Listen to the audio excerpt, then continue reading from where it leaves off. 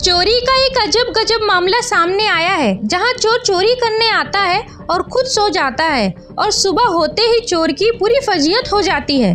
दरअसल मामला यूपी के कानपुर के नौबस्ता इलाके का है।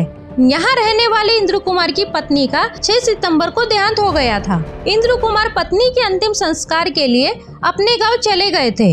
और घर को लॉक करके चाबी पड़ोस में रहने वाले रिश्तेदार रामजी तिवारी को दे गए थे। नौबस्ता के ही रहने वाले दीपक शुक्ला ने अपने साथी सोनू पांडे और सुनील तिवारी के साथ मिलकर इंद्र कुमार के घर में चोरी करने का प्लान बनाते हैं और मौका पाकर ये गैंग घर में घुस जाता है। गैंग में शामिल युवक ने अपने साथियों से कहता है कि, तुम लोग चोरी करो, तब तक मैं आराम कर लेता हूँ। वह घर में सोता ही रह गया और उसके साथी कीमती सामान लेकर घर से फरार हो गए। सुबह होने पर जब मकान मालिक ने चोर को कमरे में सोता पाया तो उसे पुलिस के हवाले कर दिया। पुलिस ने दोनों चोरों को गिरफ़्तार किया है और एक चोर की तलाश में पुलिस जुटी है। मामले में आगे की कार्रवाई की जा रही है। द्वारा विजय कुमार तिवारी नामक एक व्यक्ति को जो चोरी के अभियोग में वांछित थे, उनको गिरफ़्तार कर जेल भेज दिया गया है।